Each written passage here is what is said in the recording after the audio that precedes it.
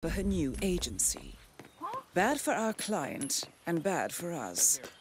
Unfortunately, we were unable to obtain an invitation for you, so you will need to be creative. And remember, Ms. Bayswater is a professional. She knows that mingling in the crowd